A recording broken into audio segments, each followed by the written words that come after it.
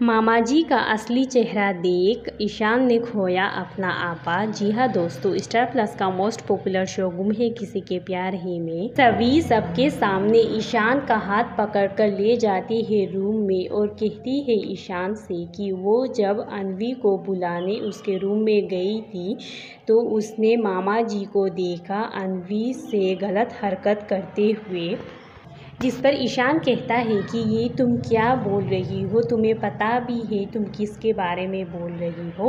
वो मामा जी, हैं, इतने अच्छे हैं, वो ऐसा कुछ नहीं कर सकते।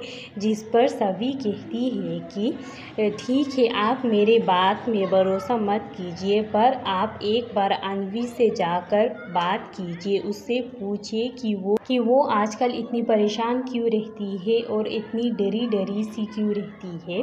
जिसके बाद ईशान मानता है साफ़ी की बात और वो अनवी से पूछने जाता है, पर वही जाकर वो देखता है मामा जी को अनवी के साथ गलत हरकत करते हुए, जिसे देख ईशान अपना आपा खो देता है और वो कर देता है मामा जी की अच्छी से पिटाई। तो क्या होगा जब पूरे भोसले फैमिली के सामने आएगी मुकुल मामा की सच्चाई?